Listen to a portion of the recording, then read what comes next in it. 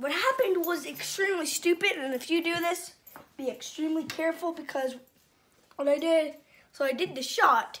What happened is it went it went down like I was drinking like like like normal water.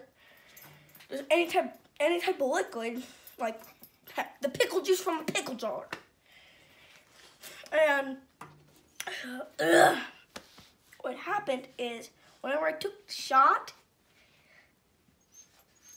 it like just like swelled my throat. I could breathe out like, but I could like, but I had to breathe like this. very, very slowly. And I started choking. And then, and then after that, I could breathe a little bit better. And I started burping. Then I could breathe like really good, like, like normal, like normal breathing.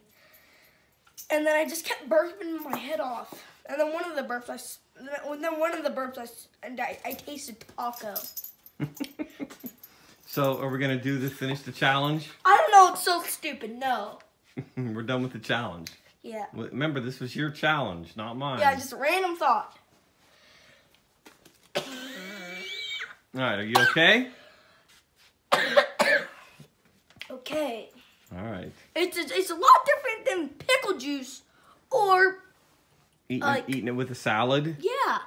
Mm -hmm. Especially like like I can just like gulp down like this much vinegar as long as it has like vinegar and oil, like a vinegar and oil salad. Yeah, I can do that real easy. Well, that's why people don't typically drink vinegar. Yeah, just like chug. All right, lesson learned, right? Yeah.